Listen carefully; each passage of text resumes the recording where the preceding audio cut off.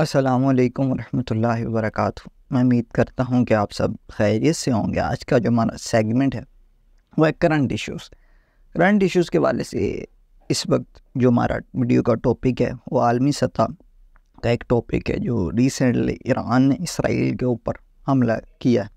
اس کی ساری تفصیلات ڈیٹیلڈ تفصیلات آج ہم اس ویڈیو کے اندر ڈسکس کریں گے۔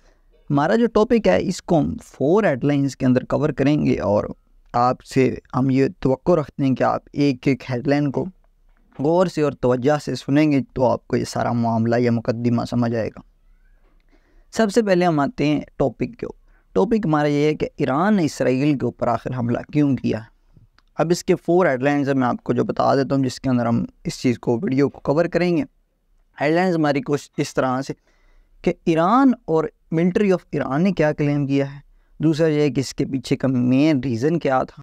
تیسری ہیڈ لائن ہمارے پاس یہ ہے کہ حملے کے اہداف کیا تھے؟ What was the target of main target of that attack چوتھا یہ کہ اب کنسنسس کیا ہوں کہ what should be the consensus next سب سے پہلے تو اپنی ہیڈ لائن نمبر ون کی طرف چل۔ ہیڈ لائن نمبر ون میں ہمارا جو ٹاپک ہے وہ یہ ہے کہ ایران اور ملٹری آف ایران نے جو وجہ بتائی ہے وہ یہ ہے کہ ان کے جو بڑے بڑے ٹاپ لیڈرز ہیں، ان کی شہادت، جس میں حماس کے لیڈر اسماعیل النیہ کی شہادت، حسن نصر اللہ جو حزب اللہ کے لیڈر ان کی شہادت اور ایران کے سابق سر ابراہیم رئیسی، ان کی شہادت کو وجہ بنا کر یہ حملہ کیا گیا ہے۔ یہ ایران اور ملٹری آف ایران نے کلیم کیا ہے۔ دوسری ہماری ہیڈ لائن یہ ہے کہ اس کے پیچھے کی وجہ کیا تھی۔ What was the actual main reason of that attack actual main reason of attack کے میرے پاس دو پوائنٹس ہیں۔ ایک sovereignty of Iran Iran کی سالمی ہے دوسرا یہ کہ simultaneous military intelligence failures of Iran یعنی کہ ایک کے بعد ایک ملٹری انٹیلیجنس فیلئرس کچھ اطلاعات جو دی گئی ہیں اس کی وجہ۔ سب سے پہلے اب بات کرتے ہیں سوور گینٹی آف ایران کو، اس سے کیا خطرہ لائق ہوتا ہے۔ سوور آف ایران سالمیت آف ایران کو خطرہ یہ لاحق ہوتا ہے کہ ایک کے بعد ایک بڑے لیڈر کی شہادت کی وجہ سے کسی بھی ایک ملک کی سالمیت کو خطرہ لاحق ہو سکتے۔ نئے صدور کی چینجنگ ہو، وزراء کی چینجنگ ہو وزیر اعظم کی چینجنگ ہو، تو آئے دن ملک میں عدم استحکام پیدا ہوتا ہے اور ملکی سالبیت کو خطرہ لاحق ہو جاتا ہے۔ دوسرا یہ کہ simultaneous military intelligence failures simultaneous military intelligence failure سے مراد یہ ہے کہ ایران کی ملٹری انٹیلیجنس میں کچھ اطلاعات اسرائیل کو دی گئیں، جس کی وجہ سے انہوں نے سٹرائکس کی سب سے پہلے آ جائیں آپ صدر ابراہیم رئیسی کے جہاز کا واقعہ پھر اسماعیل انیہ کی شہادت، اسماعیل انیہ کی شہادت ان دو پوائنٹس کے اوپر بیس کرتی ہے۔ ایک سور گنٹی آف ایران کے ایک بندے کو ایران نے اپنے ہاتھ دعوت کے لیے بلایا، اس کی سیکیورٹی کرنے میں وہ ناکام رہے اور ملٹری انٹیلیجنس کا فیلئر ملٹری انٹیلیجنس کا فیلئر اس طرح سے ہے کہ اسماعیل حنیہ کی، کہ ایک جگہ پر موجود ہونے کی اطلاع جب ملی اسرائیل کو تو ملٹری انٹیلیجنس میں کچھ ان کے جو ریسورسز تھے انہوں نے یہ حملہ کیا اسماعیل حنیہ کے اوپر، جس کی وجہ سے وہ جامع شہادت نوش کر۔ دوسرا یہ کہ حسن نصر اللہ کی شہادت، حسن نصر اللہ کی شہادت بھی ایک طرح سے ایران کی سورگنٹی سالمیت اور ملٹری انٹیلیجنس کا ایک فیلئر ہے۔ ملٹری انٹیلیجنس کا فیلئر اس طرح سے کہ وہ کسی عام پبلک پلیس کے اوپر موجود نہیں تھے یا کسی عام جگہ پر تو نہیں تھے۔ ایک چودہ منزلہ عمارت کے نیچے ایک جو بیسمنٹ کے اندر وہ موجود تھے اور سیکیور تھے۔ مگر ملٹری انٹیلیجنس فیلئر کی وجہ سے ان کے وہاں پر موجود ہونے کی اطلاع ملی، جس پر وہاں پر سٹرائک کی گئی اور وہ بھی شہید ہو گئے۔ اب یہ دو، اب یہ دو بہت بڑے ریزنس ہیں جس کی وجہ سے ایران نے سٹرائک کی۔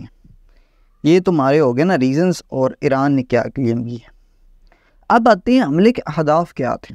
حملہ یہ عالمی قوانین کی پاسداری کرتے ہوئے اگر کسی ملک کی سالمیت کو خطرہ لائق لاحق ہو جائے تو وہ سٹرائکس جو کرتا ہے، یہ وہ سٹرائکس ہیں۔ یہ سویلینس کو مارنے والے سٹرائکس نہیں ہیں۔ ایران کے اہداف اس کے بارے میں جو ایران نے کلیم کیے ہیں، وہ ایئر بیس اور اسرائیل کا جو تھا ملٹری ہیڈ کوارٹر یہ وہ تھا۔ اہداف جو تھے، جن کے اوپر میزائلز ہٹ بھی ایکچولی کیے ہیں۔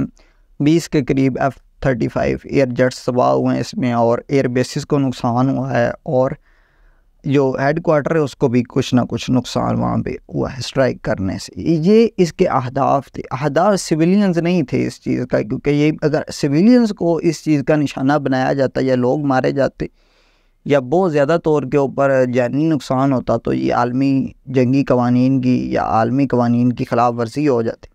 اب آتے ہیں کنسنسس کی طرف۔ دیکھیں، ایران کو کنسنسس تو اب اس کے ہوں گے، نتائج تو کچھ نہ کچھ ہوں گے، کیونکہ U S U K and جتنی بھی بڑی گلوبل پاورز ہیں، وہ اسرائیل کے ساتھ اس وقت کھڑی ہیں۔ جبکہ ایران کے ساتھ ہو سکتا ہے کہ ایک آدھ بیان آ جائے کسی پاور کا، مگر فلی فل پلیج سپورٹ کسی طرح سے بھی ایران کو کسی بھی گلوبل پاور کی حاصل نہیں ہے، نہ وہ چائنا کی ہو، رشیا کی ہو فل فل پلیج پاور نہیں ہے۔ اور نہ ہی ایران اسرائیل کے ساتھ ایک فل پلیج وار کے اندر جا سکتے ہیں، جس طرح کیونکہ اس کے لیے بہت زیادہ کنسنسز ہو سکتے ہیں اور بہت زیادہ نقصان ہو سکتا ہے۔ ایئر سٹرائکس ہوتی رہیں گی دونوں ملک کی طرف۔ اگر اسرائیل اب سٹرائک کرے گا تو لازماً ایران بھی سٹرائک بیک اس چیز کے اوپر کرے گا۔ تو یہ سارا مقدمہ تھا اس ویڈیو کا اور وجہ وجوہات تھیں۔ اور آپ کو ہم نے بتایا ہے کہ اس اس سارے ریزن کیا تھی اس کی وجہ سے؟ جو ملٹری انٹیلیجنس کی کچھ فیلئرس کی وجہ سے ان لوگوں کے لیے بھی پیغام ہے۔ دوسرا یہ کہ جس دن ایران نے اسرائیل کے اوپر اٹیک کرنا تھا، اسرائیل کو اس چیز کی اطلاع آلریڈی ہو چکی تھی۔ اور تین چار گھنٹے پہلے جو سویلینز وہاں پہ جو لوگ موجود تھے، ان کو بنکرز میں بھیج دیا گیا تھا۔ ان کے موبائلز کے اوپر یہ الارمز آ چکے تھے اطلاع کی وجہ سے۔ یو ایس نے بھی اسرائیل کو اس چیز کی اطلاع کر دی تھی۔ تو دیکھنا یہ پڑے گا کہ اب آگے ان معاملات کس صورت کی طرف جاتے اور یہ معاملہ کیا صورت اختیار کرتے ہیں؟ میں امید کرتا ہوں کہ آج کی ویڈیو آپ کے لیے بہت مفید اور انفارمیشنل رہی ہوگی۔ اور آئندہ آنے والی ویڈیوز کے لیے ہمارے چینل کو سبسکرائب کریں اور لازمان شیئر کریں۔ ویڈیو دیکھنے کا بہت شکریہ۔ اللہ تعالیٰ آپ سب